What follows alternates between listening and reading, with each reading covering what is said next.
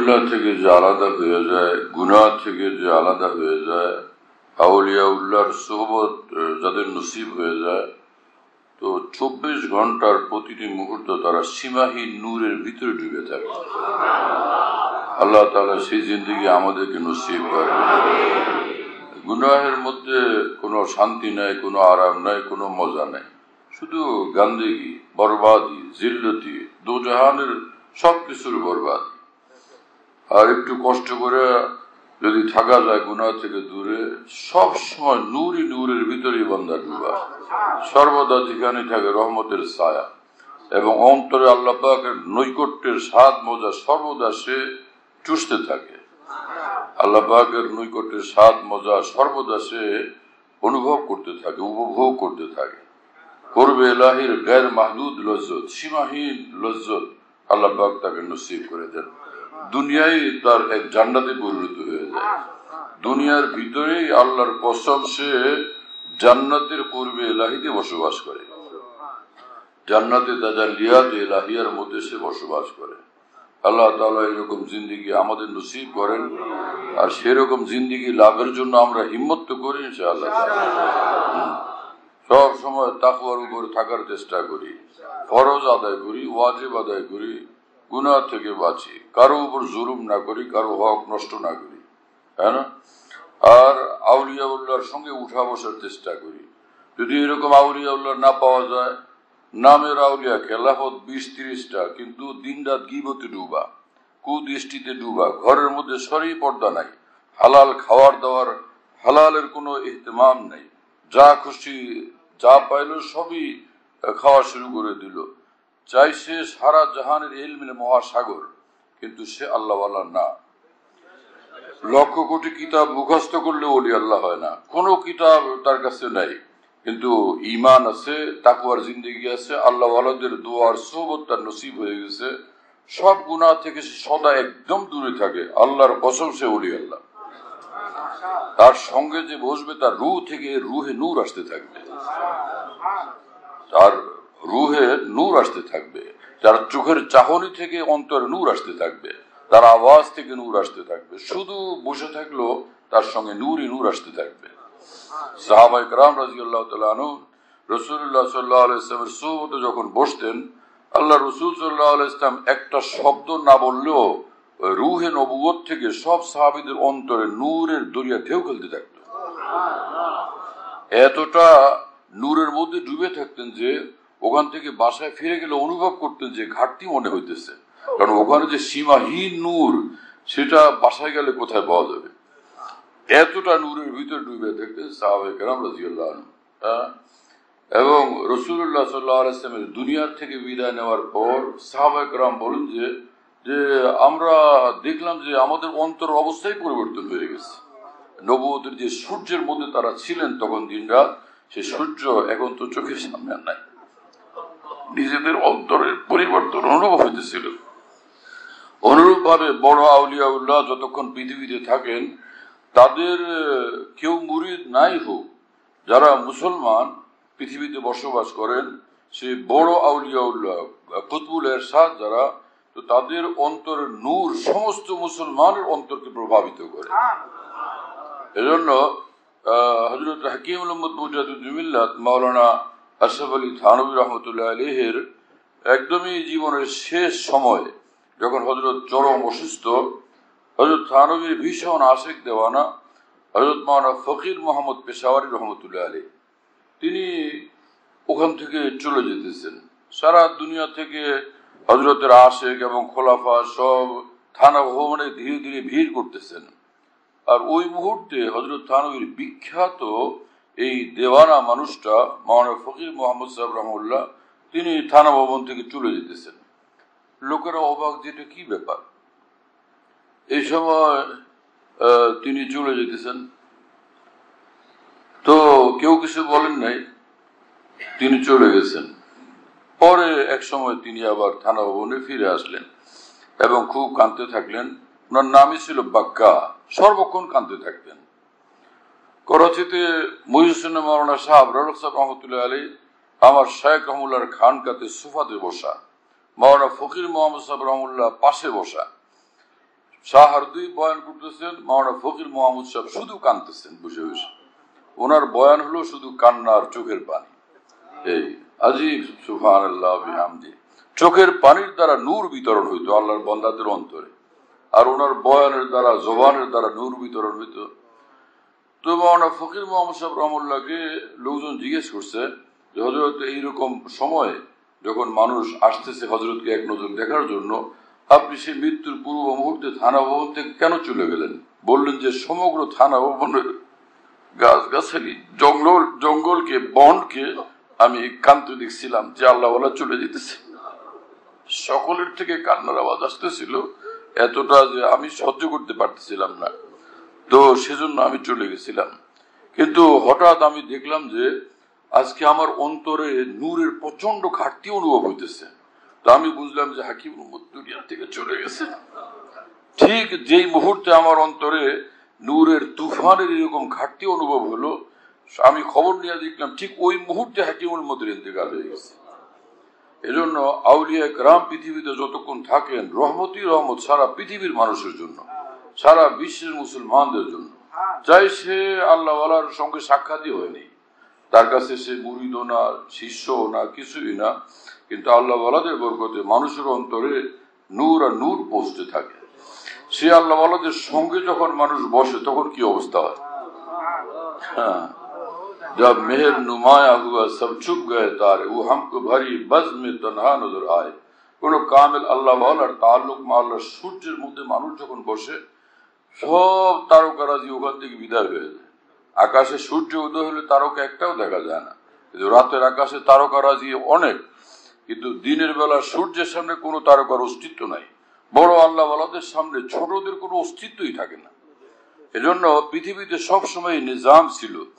কোন কামেল আল্লাহ কে যদি দেখছেন অন্যান্য আউলিয়া গ্রাম তো যারা বুঝতেন যে আমাদের তাল্লুক মাল্লার এই ছোট ছোট এই মিটি মিটি তারকারাজি এর সামনে তাল্লুক মাল্লার সূর্যের কি সেই সূর্যের সামনে আমাদের কি হাইসিয়ত, কি মর্তবা? তো নিজেদেরকে মিটা রাখতেন তারা।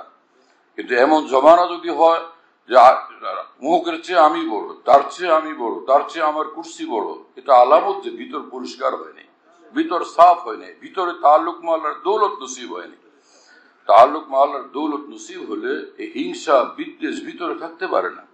অন্তর যখন পবিত্র হয় কদাফলাহমান জাক্কা অন্তর যখন সাফ হয়, আল্লাহর কসম সে আল্লাহকে পেয়ে যায়। অন্তর সাফ সে আল্লাহ পর্যন্ত পৌঁছে যায়। অন্তরকে কালিমা যুক্ত রাখা তাম দুনিয়ার সব ঝামেলার মধ্যে লিপ্ত রাখা এবং গিবত আর গিবতের অভ্যাস। আল্লাহ আমাদেরকে বাঁচান, আল্লাহ আমাদের হেফাজত করে কি আশ্চর্য! বলেন, আমি দেখলাম মাদ্রাসায় পড়ুয়া তাল বিলমদের মধ্যে ভীষণ মারাত্মক ভাবে গিবতের ঝড় তুফান। কেন এই মানুষগুলো এলমেদিন শিখতে আসলো আর তারপরে এইভাবে গিবতের মধ্যে লিপ্ত? এলমেদিন লিপ্ত, এলমেদিন যারা শিখবে তো তারা তো নুরি নূরে নুরান্বিত হবে। তারা গিবতে আক্রান্ত থাকবে কেন? সব জায়গাতে গিবত। এবং হজরত হাকিমুল থানবী বলেন যে সাধারণ মানুষ তো সাধারণ মানুষের গিবত করে। আর এই তাল বিলেম এবং আলেমদেরকে দেখা গেছে, বড় বড় আলেম, বড় বড় আল্লাহ ওয়ালাদের গিবত করতে থাকে। এত বড় দুঃসাহসী এরা। এবং হজরত হাকিমুল থানবী বলতেন আমার এই জমানাতে দুনিয়াব্যাপী যত পীর মাসায়ক আমি জানি, কম পীর মাসায়ক এরকম আছে যার মজলিসে গিবত হচ্ছে না। এখনও দুনিয়াতে এই দুর্দশা, এই অবস্থা। গিবত আর গিবতের আড্ডাখানা, সেটার নাম যদি হয় খানকা, তো সে কি খানকা? আহলে দিলকে দিল সে নিকলে, আহ আহ, বাস এহি আক্তার হ্যাঁ আসলি খানকা। যেখানে আল্লাহ ওয়ালা থাকেন, আল্লাহর জন্য আল্লাহর মহব্বতে মানুষ ছটপট করতে থাকে, মহব্বতের আগুনে জ্বলতে পড়তে থাকে। ইয়াদ ইলাহি জিক্রুল্লাহ যাদের জিন্দগি, তো সেটা খানকা। খানকা কি জিনিস যায় বুদানে দরবেশা। যেখানে দেওয়ানারা থাকে, সেটাকে খানকা বলে। গিবত গিবত যারা করতে থাকে, গিবতকারীর দল থাকে, তো এটার নাম খানকা। হ্যাঁ? বলতেন, প্রতিটি মাদ্রাসাকে এলমে দিন তার শিক্ষা দেওয়ার পাশাপাশি খানকার রু তার মধ্যে পয়দা করেছে। সর্বক্ষণ আল্লাহর তালাশ, আল্লাহর জন্য বেচাইনি আল্লাহর মহব্বত। গুনা থেকে বাঁচার এক ফিকির, এক জজবা, এক মেহনত হ্যাঁ এক বেচাইনি যা আমি আল্লাহকে নারাজ করব না, আমি তো আল্লাহকে রাজি খুশি রাখব। এইরকম তাল বেলেম যে তাল বিলমির জমানাতেই গুনা থেকে বাঁচার ব্যাপারে একদম মানে অটল অবিচল। তো এই তালবেল তখনই অলি আল্লাহ হয়ে যায়। এবং অন্যেরা হরফ পড়ে আর এই নূরের ভিতর ডুবে থাকে। ওরা অন্যেরা এক লাইন দেখে, সে এক এক এক লাইনের ভিতরে এক এক সাগর দেখে। একজনে পড়ে, আলিফ লামিন জালিকাল কিতাব, লা রাইবা বাংলা তর্জমা, উর্দু তর্জমা। আরেকজনে ও এই চুকুর ভিতরে নূরের মহাসাগর দেখতে থাকে। মাওলানা শামসুল ফরিদপুর রহমতুল্লাহ আলী তার তফসির বাংলা, তফসির হকানের শুরুতে ভূমিকাতে লিখছেন যে, আল্লাহর কোরআনের অসীম সমুদ্রের ভিতরে ডুইবে আমি যে বেসমার মণিমুক্তা দেখছিলাম, হীরা জওয়াহেরাত ওখান থেকে যত কিঞ্চিত আমি কোন রকম তুলে নিয়ে এসে আপনাদের সামনে পেশ করলাম। এই মানুষেরা নূরের জাহান নূরের মহাসাগরে ডুবে যেতেন। আল্লাহ পাকের নূরের জাহানের, নূরের মহাসাগরে ডুবুরি এই মানুষেরা। আল্লাহ সেরকম হওয়ার জন্য আমাদেরকে বেচাইনি দেন। সেই নসিব আমাদের, আল্লাহ তালা আমাদেরকে দান করে কিন্তু আফসোস কীভাবে হবে? যদি আমরা ইত্তেবায় শরীয়তের ফিকের, ফিকির আমাদের মধ্যে না থাকে। ইত্তেবায় শরীয়তের জন্য দেওয়ানিকে নিজের মধ্যে না থাকে। এবং আউলিয়া গ্রামের কদম না করি। আকাবের উম্মতের অধীন হয়ে না চলি। যাকে দেখো শাহ দুই চার ফুটা এলেম হলে এখন সেই বিশাল বড় কিছু একটা হয়ে গেছে। একটু কথা বলতে পারলে বিরাট এক বাগ্যী হয়ে গেলে বিরাট আল্লামা। সে বিশাল বড় ডক্টর অফ ইসলাম হয়ে যায় একজন। শেখ সুদি ও জাহেদ সুদি ও দানিশমন্দ এই জুমলা সুদি বলে বলে বলে কিন ইনসান আসুদি বলে মুসলমান আসুদি তুমি বড় ডক্টর, বড় আল্লামা, বড় বিশাল বড় মহাদ্দেশ একশো বছর পর্যন্ত বখারি শরীফ পড়াও ফতোয়া স্বামী পড়াও কিন্তু আমি জিজ্ঞাসা করি তোমাকে যে তুমি মানুষ হইছ কিনা? মাওনা শামসুল্লাহ ফরিদুর রহমতুল্লাহ আলী বলতেন, হে ওলামায় গ্রাম ভিতরের পশুটাকে বাইর করে দিয়া, ভিতরের পশুত্ব বের করে দিয়া, মানুষ হওয়ার জন্য শামসুল হক হাকিমুল উম্মদ থানবীর নিকট গেছিল। এবং হজরত উম্মদ থানবী আমার দেহে যতগুলো পশম আছে প্রতিটি প্রতিটি পশমের গোড়ায় হজরত উম্মদ থানবী মানুষ হওয়ার ইঞ্জেকশন প্রয়োগ করছেন আমাকে। আর আমি সেই ইঞ্জেকশন বরদাস্ত করতে থাকছি, আজকে তোমরা আমাকে শ্রদ্ধা করো, সম্মান করো। মৌলবী হারগেজ নাসুদ মাওলায় রোম দা গোলামে শামসে তবরেজি নাসুদ। মাওলানা জালাউদ্দিন রুই রহমতুল্লাহ আলী বলেন, শামসুদ্দিন তাবরেজির সামনে নিজেকে মিটানোর আগে কেউ তো আমাকে এত সম্মান করে নেই এত মহব্বত করে নেই এত আমার কাছে ভিড় করে নেই কিন্তু এই আল্লাহ ওয়ালার নিকট নিজেকে মিটানোর পরে এখন দেখতেছি সারা পৃথিবী আমার দিকে ছুটে আসতেছে चांद तारे मेरे कदमों में बिछे जाते हैं ये बुजुर्गों की दुआओं का असर लगता है আমার শেখ যিনি কোনো মাদ্রাসায় সরজামি পড়ান নেই কোনো জায়গাতে সুল্লামুল রুম পড়ান নেই বজাবি শরীফ পড়ান নেই বুখারি শরীফ পড়ান নেই কিন্তু সারা পৃথিবীতে তিনি সফর করতেন South Africa, America, London, France এবং সমগ্র এই এশিয়া, আরব দুনিয়া যেখানে যেতেন বড় বড় আলেম ওলামা শেখুল হাদিস মুফতি সাহ এ আল্লাহওয়ালার কাছে ভিড় করতে থাকতেন। পৃথিবীর শ্রেষ্ঠ মহাদ্দেশ শ্রেষ্ঠ মুফতিয়ানে কালাম ভিড় করতে থাকতেন। হজরতের জমানাতে পৃথিবীতে এত বড় মহাদ্দেশ হজরত মৌলানা হেদায়তুল্লাহ সাহেব রহমতুল্লাহ আলী এশিয়ার শ্রেষ্ঠতম মহাদ্দেশ তিনি আল্লাহওয়ালার কাছে মাথা নত করছেন, তার হাতে বায়াত হয়েছেন। হজরত মৌলানা আব্দুল সাহেব রহমতুল্লাহ আলীর সাথী, সহপাঠী শেখুল হাদিস মাওনা জাকির রহমুল্লাহ থেকে দুইজনে একসঙ্গে পুরস্কার পেয়েছেন মাওনা আবরুল সাহেব রহমুল্লাহ মাওনা মোহাম্মদ আলী চাঁদপুর রহমতুল্লাহ আলী বড় কাটার দীর্ঘদিনের মোতামেম সেই মাওনা মোহাম্মদ আলী চাঁদপুর রহমুল্লাহ যিনি হাকিমুল থানবির সুদীর্ঘ সৌবত প্রাপ্ত, আকাবের সৌবত প্রাপ্ত, তিনি আমার শাইখের হাতে বায়াত হয়েছেন। এবং সাউথ আফ্রিকার বড় বড় ওলামা বড় বড় মুফতি অনেক রাম মহাদিসিন বায়াত হয়েছেন তো আমার শায়েখ তখন বললেন যে চাঁদ তারে মেরে কদমু মে পিছে যাতে চাঁদ তারকারা নিজেকে আমার সামনে এইভাবে মিটাইতেছে ইয়ে বুজুর্গোं की दुआओं का असर लगता है এটা আমার কোনো কৃতিত্ব না আমার বুজুর্গানি জিরের যে দোয়া আমার প্রতি আছে সে তাদের দোয়ার ফসল এটা মানুষ যারা হয় সত্যিকার আলেমী দিন যারা হয় তারা নিজের এলমের কারণে অহংকার পয়দা হয় না আমি একশো বছর বোখারি শরীফ পড়া এই সকল মন্ত্র তাদের জমানে থাকে না তারা নিজেকে মিটায় রাখেন নিজেকে मिटाए रखे हजरत हकीम थानवी बोले मशहूर तो यह है कि सलूक का आखिर कदम फना है लेकिन हकीकत यह है तहकीक यह है कि हर कदम फना है कि सलूक का हर कदम फना है যে মশহুর এই কথা যে সুলুকে তরিকত লাইনে আল্লাহর মহব্বতের রাস্তা সর্বশেষ কদম হলো মানুষ ফানা হয়ে যায় একদম মাটি হয়ে যায় একদম নিজেকে মিটাই দেয় সর্বশেষে গিয়া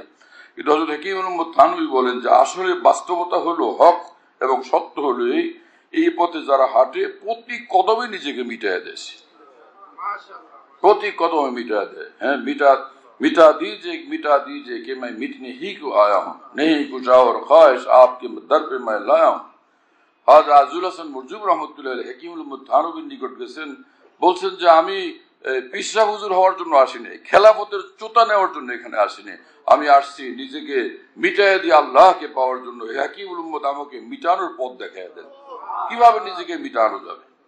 এখন মিটানো না শাসাব হওয়ার জন্য আমরা পিসাবদের কাছে, আল্লাহ ভালাদের কাছে যাই, যে খেলাফত কত জলদি পাওয়া যাবে। খেলাফত না পাইলে লোকদেরকে দিয়ে সুপারিশ করানো হয়, যাতে খেলাফতটা পাওয়া যায়।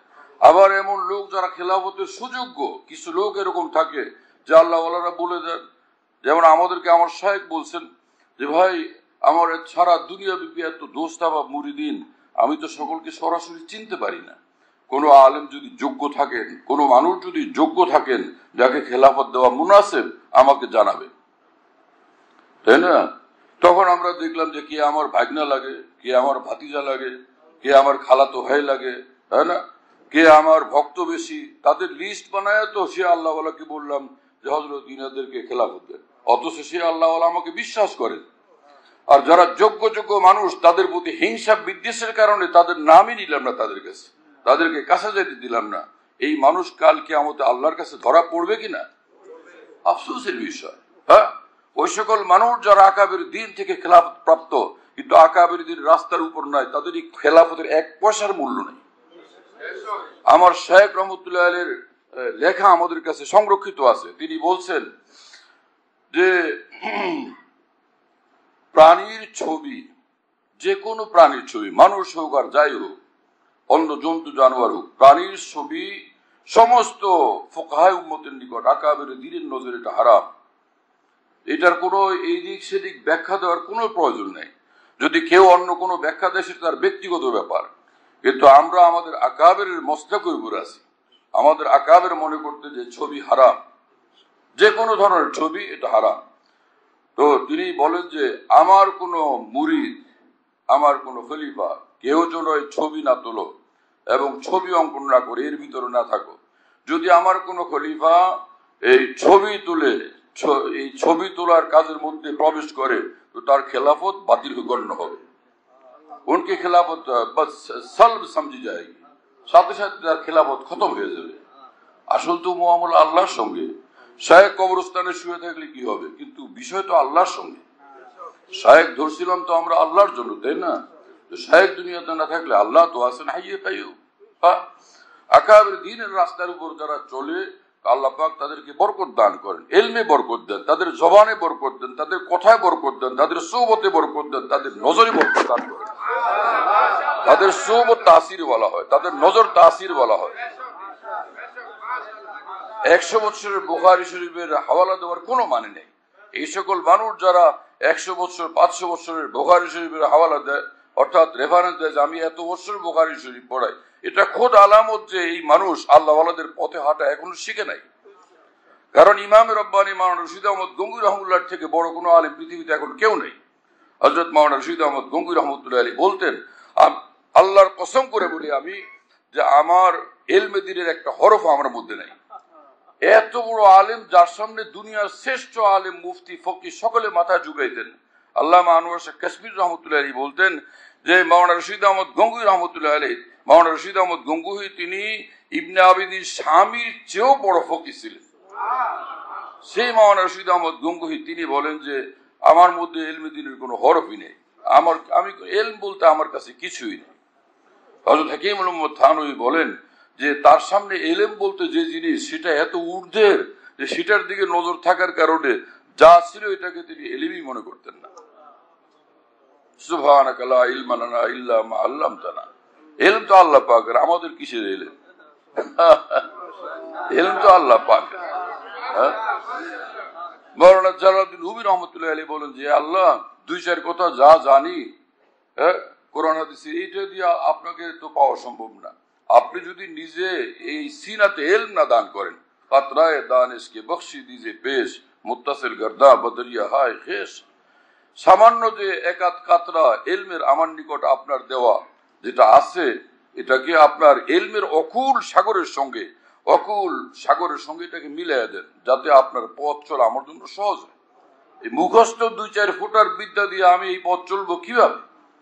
যে সকল মানুষ কথা বলতে গিয়া, দিনের কথা বলতে গিয়া প্রচণ্ড হোঁচট খাইতে থাকেন, কথার কোনো এতে দাল নেই আগা গোড়ার কোনো মিল নেই, আকাবের কথার সঙ্গে তার কথার কোনো মিল নেই, এটা আলামত যে তার এলিম সহি না। তার এলম গ্রহণযোগ্য না, তার সিদ্ধান্ত গ্রহণযোগ্য না। তার দিনই সিদ্ধান্ত গ্রহণযোগ্য না। এজন্য আল্লাহর কসম করে বলি, এই মসজিদের মধ্যে আকাবের দিনের পথে চলার মধ্যেই আমাদের দিনের হেফাজত। এর বাইরে গেলে গুমরাহি এবং বিপদ। যারা এই ভিন্ন মন্ত্র বলে, তাদের এই মন্ত্র পুরোটা অন্ধকারে পরিপূর্ণ। এই মন্ত্র সেই মন্ত্র না। আকাবের দিনের রাস্তার উপর অটলভাবে থেকেছে।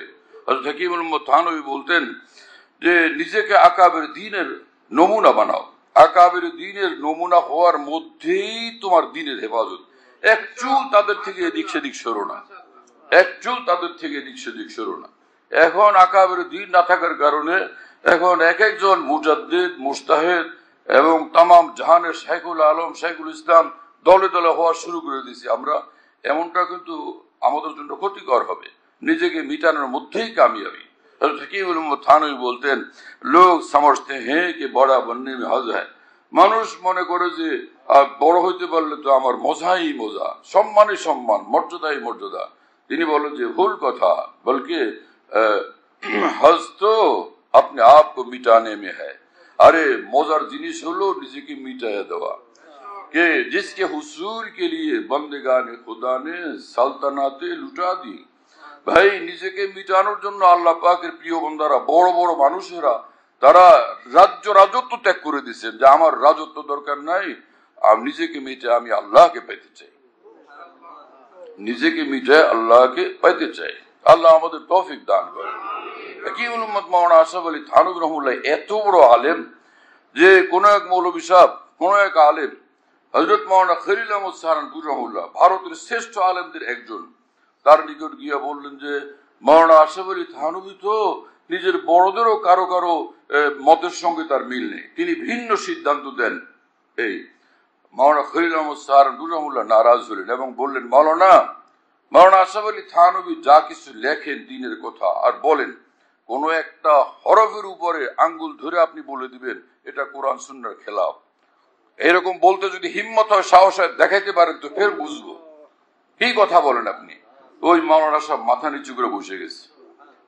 এত বড় আলেমে দিন ফকিফ দিন ছিলেন হজরত হাকিমুল উম্মত মাওলানা থানবী রহমুল্লাহ সেই মাওলানা থানবী রহমুল্লাহ মাওলানা রশিদ আহমদ গঙ্গুই রহমুল্লার সামনে এমন ভাবে চুপচাপ বসে থাকতেন হজরত গঙ্গুই তখন চোখে দেখেন না, দৃষ্টিহীন। চুপচাপ বসে থাকতেন গিয়া।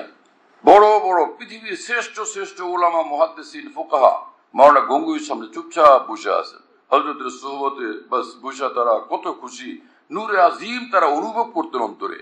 মুখস্থ বসে থাকতেন না। মুহূর্তে মুহূর্তে নূর বাড়তে থাকতো তুফানের গতিতে সেটা সকলে উপলব্ধি করতেন। মাওলানা গঙ্গুই কুতবুল এরশাদ ছিলেন।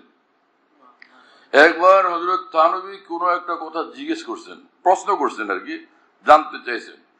মাওলানা গঙ্গুই খুব মানে বজ্রকণ্ঠে বললেন পোষ নেওয়ালা কন? জিজ্ঞাসাকারী কে? বললেন যে আশরাফ আলী। আচ্ছা আর পুষতে? তুমি? আরে জিজ্ঞাসা করতেছো?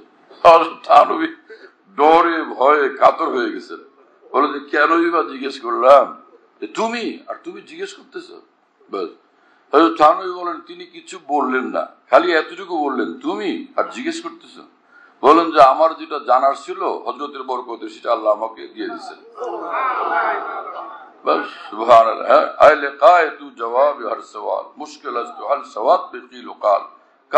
যারা হন তাদের কাছে জিজ্ঞাসা করা ছাড়াই হাজারো বিষয় এইভাবে সমাধান হয়ে যায়। হাজারো বিষয় সমাধান হয়ে যায়। বড় কাটরা মাদ্রাসার উস্তাদ ছিলেন মাওলানা রুকুনুদ্দিন সাহেব রহমতুল্লাহ আলী উনি আমাকে বললেন একদিন যে, আমি করাচির হজরত মহানা শাহ কি মোহাম্মদ আক্তার সাহেব রহমুল্লাহর মজলিসে আসলাম।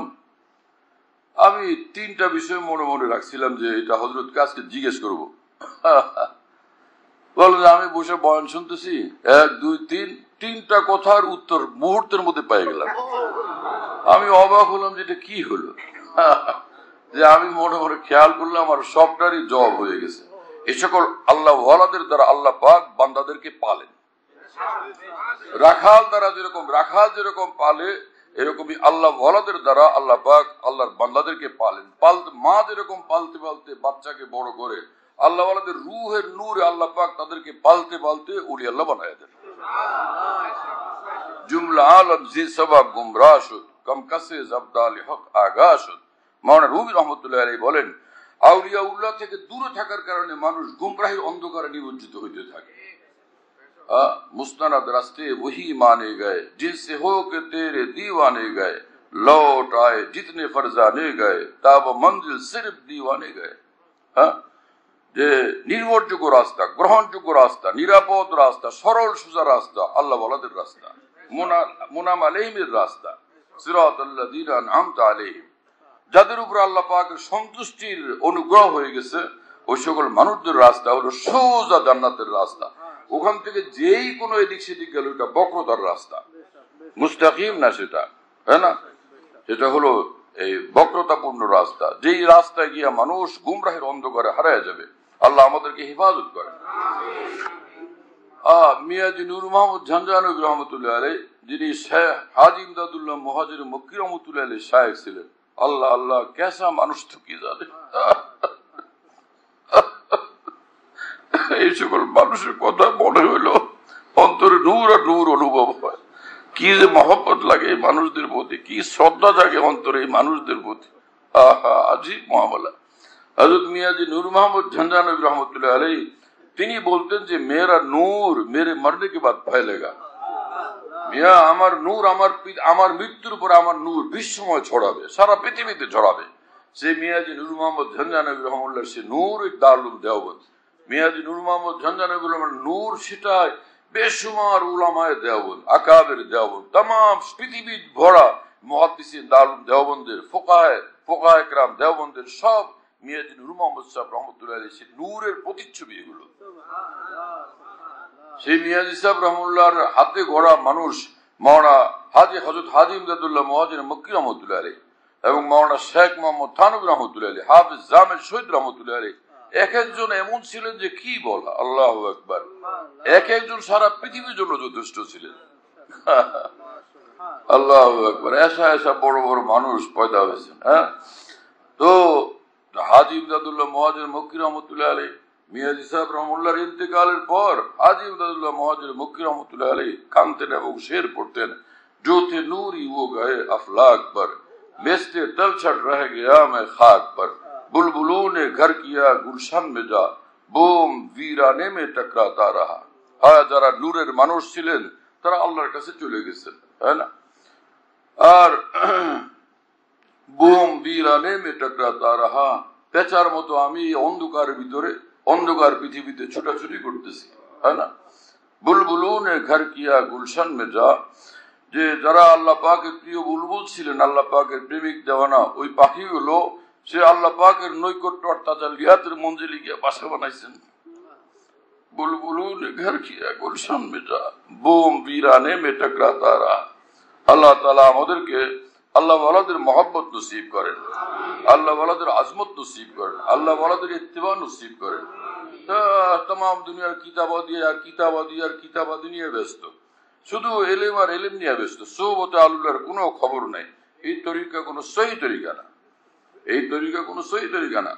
ওলামায় কারাম বললেন হজরত হাকিবুল থানুবিকে হজরত দালম, দেওবন্দ, আমরা তো একসাথে পড়ছিলাম। কিন্তু আপনি যখন কথা বলেন, বয়ান করেন এলেমের সাগর আপনার জবান থেকে বর্ষিত হয় এত এলেম আপনি কোথায় পাইলেন কি কি কিতাবা কিতাবাদে আপনি পড়াশোনা করছেন হ্যাঁ সেগুলোর নাম শুনি হজরত হাকিমুল থানই বললেন মাওলানা मैंने कुतुब बीनी से कहीं ज्यादा कुतुब बीनी की है আমি কিতাব দেখা কিতাবও দেখছি কিতাব দেখার চেয়ে বেশি আমি কুতুবদেরকে দেখছি আউলিয়া কালামকে দেখছি তাদের সঙ্গে উঠা বসা করছি তাদের সোবত তাদের দোয়া নেওয়ার চেষ্টা করছি আমার তিন কুতুব আমি আপনাদেরকে বলি, মেরে আফতাবে সালাসা। মাওনা ইয়াকুব নানতুই রহমতুল্লাহ আলী হজরত মাওনা রশিদ আহমদ গঙ্গুর রহমতুল্লাহ আলী হুজরতুল ইসলাম মাওনা কাসিম নানতুই রহমতুল্লাহ আলী হাজি ইমদাদুল্লাহ মহাজির মক্কি রহমতুল্লাহ আলী মাওলানা কাসিম নানাতুর রহমুল্লাহ মাওলানা রশিদ আহমদ গঙ্গুর রহমুল্লাহ হাজি ইমদাদুল্লাহ মহাজির মক্কি রহমুল্লাহ তিনজনের নাম নিয়েছিলেন এই তিন কুতুবের সোবত এবং তাদের দোয়ার বরকত আমার এলেমকে এরকম বানায় দিয়েছে আমার এলেমের ভিতরে এরকম বরকত দান করছে। এটা উসিলা হয়েছে এলমের ভিতরে বরকতের জন্য। আল্লাহ ওয়ালাদের সোবত হাকিম বলেন কোন কামিল আল্লাহ ওয়ালার সোবত কশিন কালেও বেকার যায় না। এবং তিনি বলেন দুনিয়াতে তো মানুষ কামিয়াব হবেই দুনিয়া আখেরাতে তো সে কামিয়াব হবে দুনিয়ার জীবনেই সেটা সুফল সে পেয়ে যাবে। আখেরাত তো কামিয়াব হবে দুনিয়ার জীবনে সেটা সুফল নিশ্চিত সে পেয়ে যাবে। মাশাআল্লাহ জাযাকাল্লাহ আল্লাহ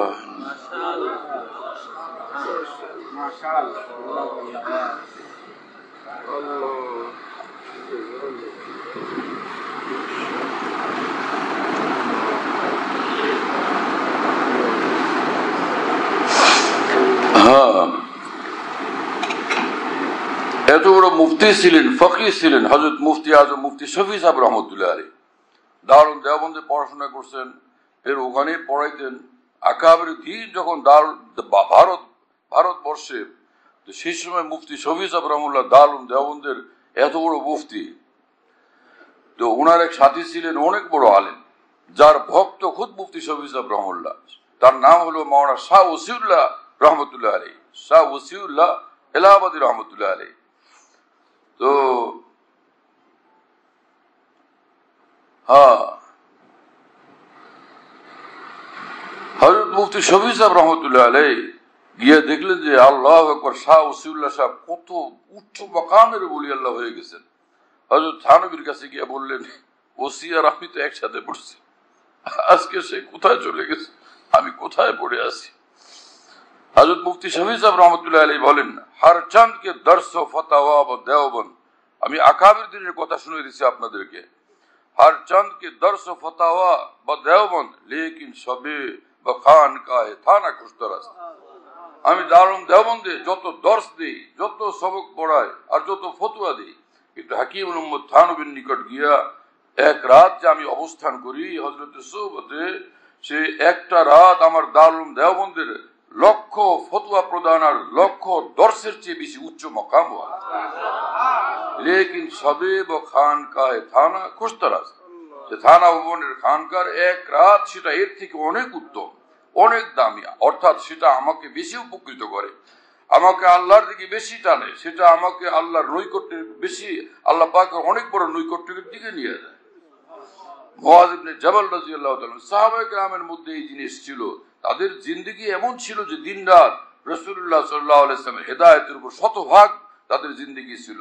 মহাজিবনে জবাল রাজিয়াল্লাহ তালু আর এক সাহাবিকে দেখলেই বলতেন, ইজলিস বিনা নুমিন সাহাতান ভাই, আসো বসি, আল্লাহর সঙ্গে নৈকট্য বাড়ায় ইমানের নূর বাড়ায় আল্লাহর সঙ্গে নুমিন সাহাতান কি জিনিস? ইয়া আইয়ুহাল্লাযীনা আমানু, আমিনু।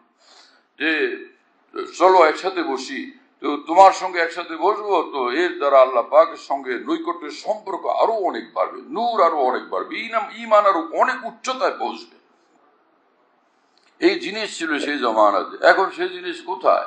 আর বসবেন কার সঙ্গে? আমরা যাব কোথায়? যেখানে যাওয়া হয় গিবত, যেখানেই যাওয়া হয় দুনিয়াদারির কথাবার্তা।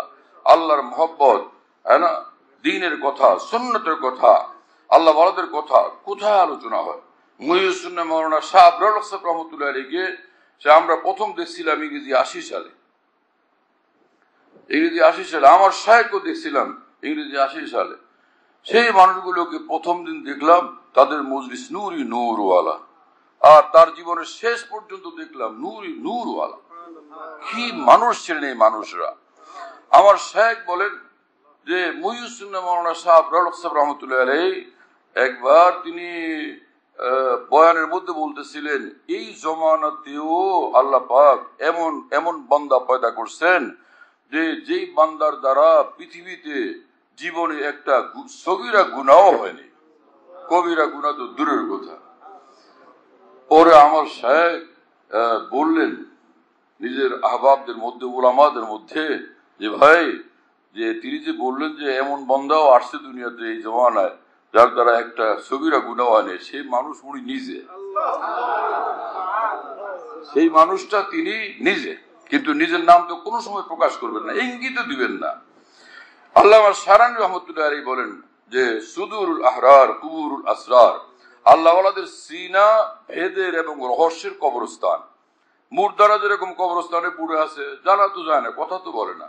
অনুরূপ আল্লাহওয়ালাদের সিনাতে বেসুমার এরকম ভেদ থাকে রহস্যমালা থাকে রুমুজ থাকে আসরার থাকে চুপচাপ সেগুলো নিয়ে তারা পৃথিবীতে জিন্দগি কাটান কিছুই বলেন না শেখ মৌলানা আবরাল হক রহমুল্লাহ উস্তাদ শেখ উলদিস মৌলানা জাকির রহমতুল্লাহ আলী বলতেন हमारे मौलाना अबराल हक साहब तो तालब इल्मी की जमाने ही से साहिब निस्बत वली अल्लाह थे আমার ছাত্র মাওলানা আবরাল হক সাহেব তিনি তো ভাই ছাত্র জমানা থেকেই সাহেব নসবত ছিলেন ওলি আল্লাহ ছিলেন উস্তাদ ব্যাপারে কথা সুবহান আল্লাহ আমাদেরকে সেরকম জিন্দগি বানানোর তৌফিক হ্যাঁ? প্রতি শ্রদ্ধা, ভক্তি, মহব্বত, তাদের সিদ্ধান্ত, তাদের নিজাম, তাদের নিজামে দর্শ, নিজামে তালিম, তাদের নিজামে তরবিয়ত, সেটার প্রতি শ্রদ্ধা থাকা, সুধারণা থাকা, এটা কল্যাণের লক্ষণ, কামিয়াবির লক্ষণ, সৌভাগ্যের লক্ষণ। আর তাদের জিন্দগি, তাদের সিদ্ধান্ত, তাদের তালিম, তাদের তরবিয়ত তাদের- নিজামে তালিম, তাদের নিজামে তরবিয়তের ব্যাপারে কুধারণা পয়দা হওয়া, খারাপ ধারণা পয়দা হওয়া, এটা ধ্বংসের আলামত, বরবাদের আলামত, গুমরাহির আলামত। এরকম গুমরা লোকদের অনুসারী ও গুমরাহির অন্ধকারে নিবজ্জিত হবে। কোন মা হ্যাঁ হাদিসের বর্ণনাকারী। যে দুজাহানের সমস্ত বরকত, সমস্ত কল্যাণ আকাবির দ্বীনের অনুসরণের মধ্যেই নিহিত। অনেকের এই যে ধারণা, এক ধরনের মন্ত্র শিক্ষা দেয় কিছু লোকে, ডাইরেক্ট কোরআন হাদিস থেকে এলেম শিখো, দিন শিখো এবং এটাই তুমি আমল করো। আল্লাহ এবং আল্লাহ রসুল সাল্লাহ আলাইসলাম এইভাবে আমাদেরকে কোরআন হাদিসের উপর আমল করতে বলেন নাই। তুমি যা বুঝো সেটা দিন। এইভাবে আল্লাহ আল্লাহ রসুল বলেন নাই। বরং যে আর রহমান ও ফাস আল বিহি খাবিরা হ্যাঁ? যে মহান আল্লাহর দিন জানার জন্য, আল্লাহ পাকের হক কি, আল্লাহ পাক চান কি, আল্লাহ পাকের মোতালাবা কি সেটা জানার জন্য ভালোভাবে খবরওয়ালা যারা, খাবির মানে কি? একাত কথা জানে হ্যাঁ? কোন রকম জানে লক্কর ছক্কর জানে নরবরে জানে, তার নাম খাবির। খাবির মানে যে পাকা পোক্ত যারা দিনের লাইনে এল মাসে গভীর এবং আল্লাহর সঙ্গে কম সম্পর্ক গভীর এবং নিবিড়। তাদের কাছ থেকে আল্লাহকে পাওয়ার জন্য আস্থা জানার চেষ্টা করুন। শুনতেছেন প্রিয় বন্ধুরা?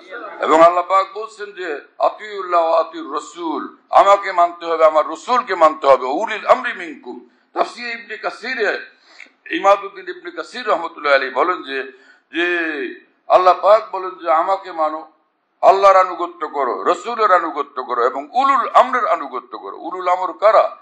ফোকাহায় উম্মত আকাবির দিন কথা বুঝতেছেন প্রিয় বন্ধুরা? ফোকায় দিন তাদের অনুসরণ করার মধ্যেই আমাদের কামিয়াবি। তো কোরআন বুঝতে হবে হাদিস বুঝতে হবে দিন বুঝতে হবে আকাবিরের নজরে সেটা আমাদেরকে দেখতে হবে। আকাবিরের চোখ দিয়ে দিন দেখতে হবে। আকাবিরের চোখ দিয়ে আমাদেরকে দিন বুঝতে হবে। নিজের খেয়াল খুশির মতো দিনকে দিন বলে না। কথা বুঝতেছেন? হ্যাঁ? এই দুই চার কথা হঠাৎ মনে পড়ল আমার এলহাম হয়েছে অথচ দিন রাত গিবতের অভ্যাস। গিবতের অভ্যাস যার তার অন্তর জুলুমাতে ভরা। হ্যাঁ না? জুলুমাতে ভরা, অন্ধকারে ডুবা। ওখানে এলহাম হবে কীভাবে? অমাবস্যার রাতে সূর্য উদয় হয়েছে, এরকম হলো আর কি। অমাবস্যার রাতে সূর্য উদয় হয়ে গেছে। নিজের প্রতি এত খুশ খুশফামি, এত সুধারণা অথচ খায়রা। প্রতি তোমরা সুধারণা রাখো। শরীফ আর এক আমাদের অবস্থা এরকম যে বেসুমার আর লোকদের মধ্যে আমাদের অবস্থা এই যে সকলের প্রতি খালি বদ ধারণা, খালি খারাপ ধারণা, অমুকে নষ্ট, অমুকে বরবাদ, অমুক মহাদ্দেশ খারাপ, অমুক ফকি খারাপ, অমুক মুফতি সাহেব খারাপ, অমুক পীর সাহেব খারাপ, ভালো তো শুধু আমি। এই দেশের রাজা শুধু আমরা এবং মামারা। আর বাকি সব নষ্ট এবং ফোকারা। সব মিসকিনের দল। সেই রকম কথা। আল্লাহ আল্লাহ আল্লাহ আমাদের হেফাজত করে। এইরকম মুশকিল সময় আমার প্রিয় বন্ধুরা, আমাদের জন্য উচিত হলো আকাবের দিনের মাওয়াজ মুলফুজাত মোতালা করতে থাকা। হ্যাঁ? হজরত মাওলানা আবুল হাসান নদবী রহমতুল্লাহ বলতেন নদতুল উলামে আমি এক মিশন চালাইতেছি। বিশ্বময় পৃথিবীর মানুষ আমাকে চিনে এবং সারা পৃথিবী আমি সফর করি। আরবি সাহিত্যের উপর এক মেহনত আমার আছে। কিন্তু এর পাশাপাশি আমি আপনাদেরকে বলি যে আমি নিয়মিত হাকিমুল উম্মত মৌলানা থানবীর কিতাবাদি মাওয়াজ মুলফুজাত মোতালা করি এবং আপনাদেরকে আমি সেই কথা বলি। আপনারাও মোতালা করবেন, আপনারাও পড়বেন। শেখুল ইসলাম মৌলানা হোসেন আহমদ রহমতুল্লাহ বলতেন, আমি আপনাদেরকে বলি, হাকিমুল উম্মত থানবীর মাওয়াজ মুলফুজাত পড়তে থাকবেন, মোতালা করতে থাকবেন। এই সকল মানুষরা আল্লাহ ছিলেন। তারা চাইতেন যে মানুষগুলো আল্লাহকে পাওয়া যাক। তো এই আল্লাহ বলার কিতাবাদের মধ্যে তাসলিফাতের মধ্যে মাওয়াজ মুলফুজা সময় আল্লাহ কাজ দিয়েছেন, কাজ করাইছেন। তো সে ওর ভিতরে যে দিনের কথা মজুদ আছে, আল্লাহকে পাওয়ার রাস্তা বাতলানো আছে যে সেটা যাতে মানুষ সন্ধান পাওয়া যায়। সেই পথে হাটে আল্লাহ পর্যন্ত পৌঁছে যায়। তো ওই মানুষদের অন্তরে সেই ব্যথা ছিল, দরদ ছিল, তাই তারা এইভাবে উপদেশ দিয়ে গেছেন। মাশাআল্লাহ মাশাআল্লাহ বয়ান তো করতেছিলাম না ওই আমাদের হাফিজ সাহেব যে একটা কবিতা পড়ছেন, ওই প্রসঙ্গে ভাবলাম যে এক দুই কথা বলব, কিন্তু সেটাই মাশাআল্লাহ একটু লম্বা হয়ে গেছে।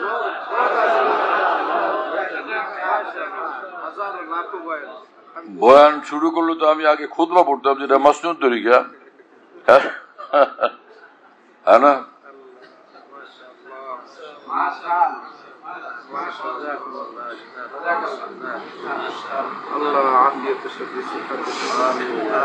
আমরা সকলে আল্লাহর উলি হতে চাই কি না ভাই?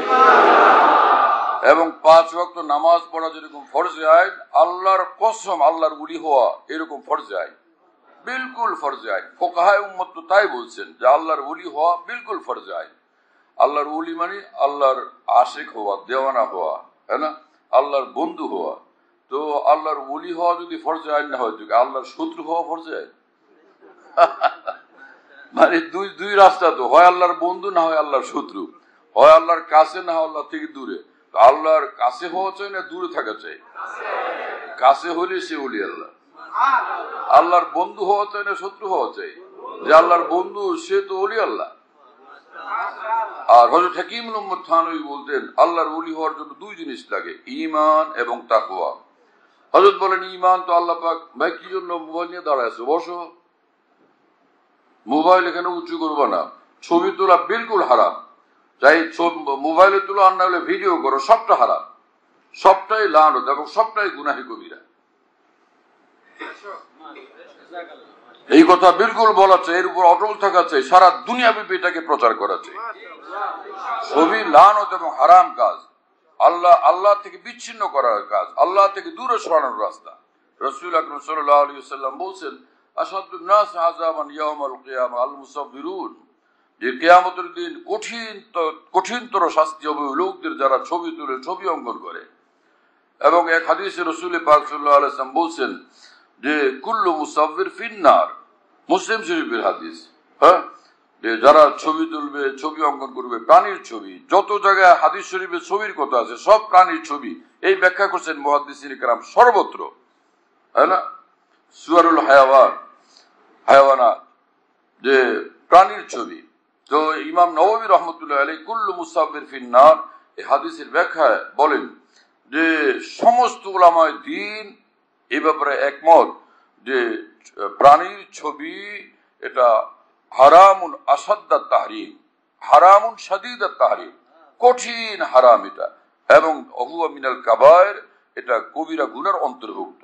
নওয়াজুবিল্লাহ আলামিন আর সেই ব্যাপারে এইরকম উল্লাস যে যেখানে যাওয়া হয়, যন্ত্রপাতি সাথে, যাতে এখানে ছবি তোলা হয়। ইসলাম প্রচারের এত জজবা, এর কি সুন্নত মোতাবেক জজবা এটা? যে ছবির জন্য আল্লাহ রসুল সাল্লাহ সাল্লাম লানতের ঘোষণা দিচ্ছেন হারাম বলছেন তো সেই জিনিসকে কুল্লু মুসাফের ফিন্নার জাহান নামে যাবে এটা হারাম হলো না সুন্নত হলো? সেটা নিয়ে এইরকম উল্লাস কেন? এইরকম বেচায়নি কেন? এতটা বেকুলতা কেন? কোরআনে কারিমের তেলাওয়াতের জন্য এরকম বেকুলতা নাই।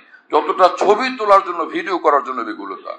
তাহাজুদের জন্য এতটা বেকুলতা নাই, যতটা ছবি তোলার জন্য বেকুলতা। এটা খোদ আলামত দাল মে কালা। হ্যাঁ না? এটা খোদ আলামত, যেটা বরবাদের রাস্তা। আল্লাহ তালা এই ফেতনা থেকে আমাদেরকে তাম উলামায় দিন দিনকে তাম তুলাবাই গ্রামকে তাম মুসলমানদেরকে হেফাজত করে যে কোনো দিনই মজলিস এখন ওয়াজ মাহফিলে যাওয়ার কথা আসলে দোস্তা বা মুহিবিন ওলামা একরাম বলে যাবে মাহফিলে যেতে পারব না। কারণ ছবি তোলার কাজ ঠেকাবে কে? বয়ানের সময়, সব সময় প্রতিটি সেকেন্ডে টেনশনে থাকতে হয়, কে কোথেকে ছবি তুলবে, ভিডিও করবে। চলো, যাবই না। ব্যাস, আল্লাহ তালা হেফাজত করেন। আল্লাহর দিনের, আল্লাহ আল্লাহ পাকের দিন কারও মোহতাজ না। আমরা দিনের কাছে মোহতাজ। হ্যাঁ? আল্লাহ পাক নিজে কেয়ামত